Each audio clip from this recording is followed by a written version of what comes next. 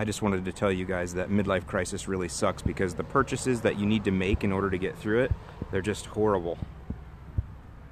Hey, what's up lawn care nuts? Thanks for coming back for yet another week. So today is gonna be one of those kind of videos that's more like a day in the life kind of thing. And I know a lot of you guys don't like that. You don't really care about that stuff. You just want the lawn tips. Just like the title says, this video is gonna be all about Midwest or cool season grass lawn tips uh, going into fall. So if you're here for that content, I'll put a link in the description below where you can skip ahead and get right to the tips. Because I understand, the tip is the most important part. The other thing that I am gonna do today though is provide just a skosh of an update just to kind of give you guys an idea of where I'm at and what videos are coming up and that kind of stuff. So you kind of know what to expect over the next few weeks. So here is Frankenstein. Ugh, I started mowing last night and it got dark, so I have to blow all this off today and edge. But anyway, here's Frankenstein. Now, uh, Frankenstein is going to get an insect treatment today. Not gonna film that, but you know, I'm seeing these brown spots coming in here and uh, I'm seeing a lot of moth activity as well. So something's going on. Uh, I'm gonna go ahead and take care of that. The other thing I'm gonna do though is I'm gonna do an iron treatment on this, liquid iron, do a full video on that.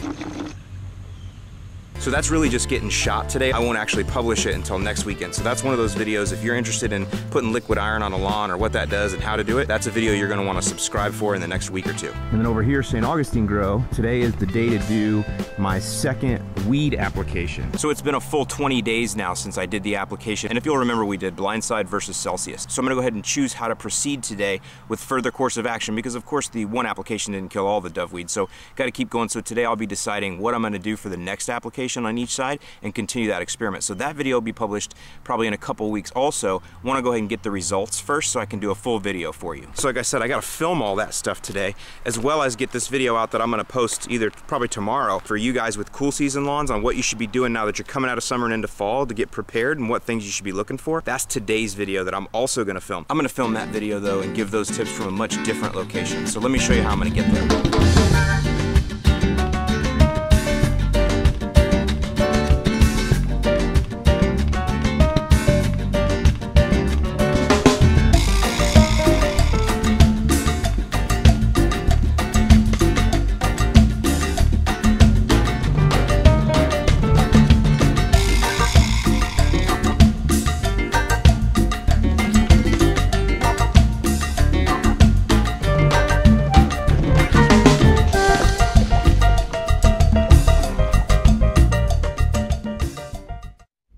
So what we're gonna do.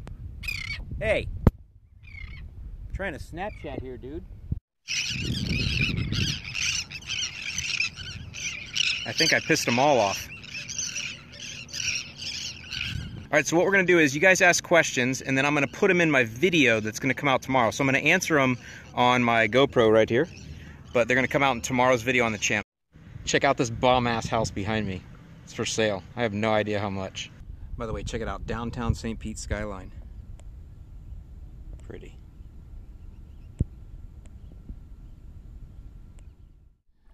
All right, so I took a bunch of questions from you guys on Snapchat. This is gonna be all about fall time lawn tips for those of you guys with cool season grass. So that's really what this is about, is me giving you guys up in the Midwest and up north there a little bit of love talking about what's gonna start happening to you now that you're coming out of this really long hot summer. And by the way, let me just say, this has been a record summer. And as far as I say record, I mean it feels like that.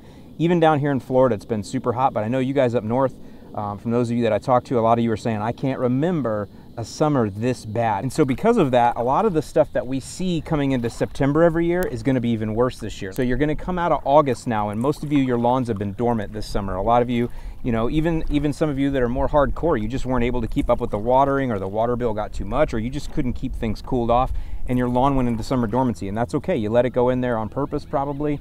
That's what you did. You didn't have a choice. So what's happened is your lawn has been brown all summer and what that does is it tends to mask real problems that are going on. For example, you might have sod webworm munch action going on inside your lawn, but you can't tell because you can't see brown spots appearing because the whole lawn is dormant brown. Another thing that can happen is you can have, again, disease problems. Dollar spot's been rampant this year, but dollar spot that you just didn't know. Maybe it started showing up in the spring a little bit and then you didn't notice it, you didn't catch it, then your lawn went dormant. Well, those spots being under the super amount of stress that they were, they're not gonna come out of summer dormancy very well. And then the other thing that you might have is mechanical damage or foot traffic damage. You know, a, a lawn that's dormant, whether it's winter or summer, really shouldn't be walked on or played on. But then again, in the summer, what are you going to do? Tell your kids not to play in the lawn? Of course they are.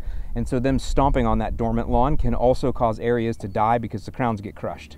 So all of that presents an opportunity. Presents an opportunity to put together a good strategy to go ahead and get the lawn to recover before Halloween. Believe it or not, one of the biggest opportunities to dominate your neighbors during the year comes at Halloween. Because as you know, most everybody's out with their kids, walking them through on Halloween. And in most places in the US, Halloween, your lawn is still going to be green. It may not be actively growing or super vigorous, but it's still going to be growing and it's still going to be green. And that's really our opportunity for one last time to tell all the neighbors that we dominate them. And they have to come and see it in order to get candy for their kids. So here's what's going to happen. You're going to realize that September is going to be upon you and it's time to get some things done and you're going to go out and you're going to start working on the lawn. The other thing that's going to happen about that same time is you're going to get a little bit of cooler temperatures as well as some rain and so the lawn is naturally going to start coming out of its summer dormancy and start to green up and that's when you're going to notice problems, areas that just don't recover. Now, one thing that a lot of you will be concerned with will be grubs, and rightly so. I told you I never used to treat my lawn for grubs, but that was because it was so vigorous. Populations never got big enough to really cause an issue. But if your lawn has been dormant during the summer and you are seeing brown spots, that's probably the first thing you should do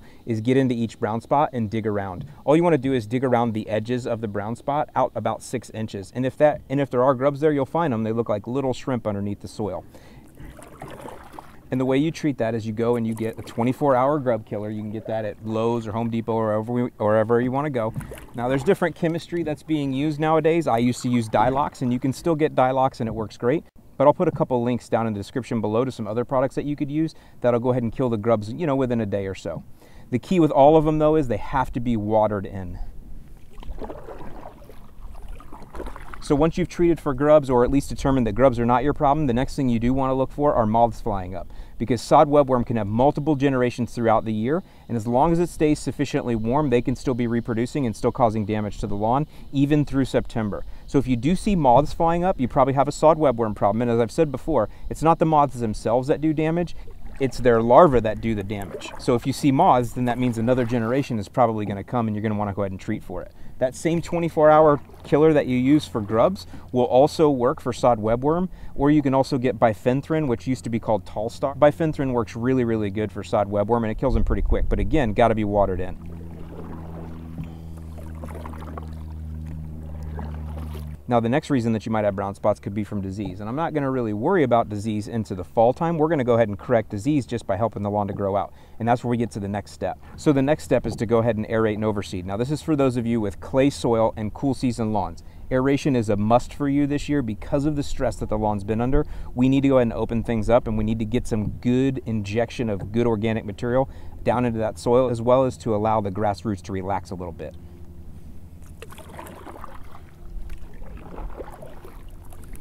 I've got a video that I did on aeration that I'll link to below, shows you how to use the machine, shows you what everything you want to do. You can go ahead and rent one. They're 40 to $80 for four to eight hours. And I always recommend that you go in and do it with your neighbors so you guys can share the labor and share the cost, as well as keep in mind you do need a large truck to load it on and it's not a one person job loading and unloading.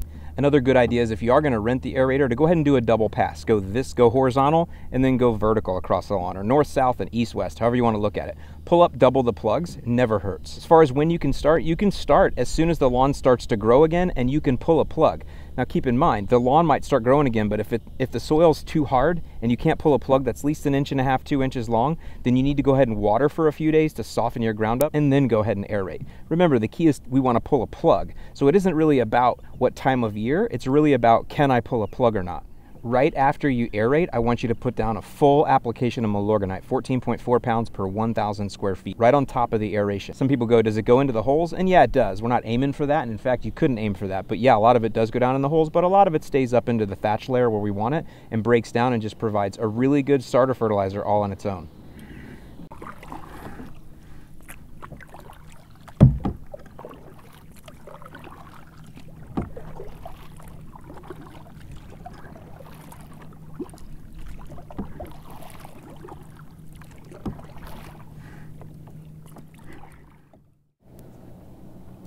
As far as weeds, crabgrass, yeah, you're going to have a lot of residual crabgrass and you're going to need to get something to spray on it and you're going to want to kill it. You don't want it to keep growing because it'll grow all the way until the first frost and then drop seeds. So since we're gonna be seeding here in the fall, I recommend you use Tenacity as your weed control. It'll kill crabgrass and a lot of other broadleaf weeds, including dandelions, which do have a resurgence in the fall. But the best news is it won't harm your new grass seed. I'll put a link below in the description to where you can pick up Tenacity. It's a little expensive, but it's a pretty low use rate product, so it'll last you a long time. By the way, you should start killing weeds almost immediately. Even if you're not gonna aerate until mid-September, I would recommend you get tenacity and start spraying weeds now as long as you're irrigating or you're getting enough rain and the lawn's starting to try to self, try to come out of dormancy on its own.